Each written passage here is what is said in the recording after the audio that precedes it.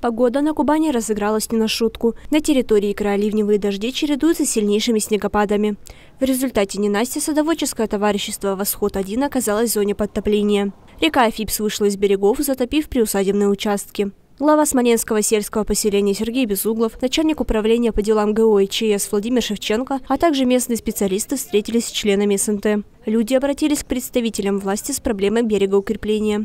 Они готовы закупить песок и землю, однако им не хватает рабочих рук. Администрация Северского района никогда не забывает про садоводов. У нас во время потопления был организован пункт временного размещения, эвакуационный транспорт и проводилось оповещение населения. Данный момент рассматривается вопрос о помощи, то есть э, садоводы попросили выделить им людей для берегоукрепления, то есть перенести песок. Еще один вопрос – Ерик, находящийся на территории товарищества. Во время обильных осадков он моментально наполняется затапливает земельные участки. Администрация Смоленского поселения дала разъяснение по дальнейшей работе председателю товарищества.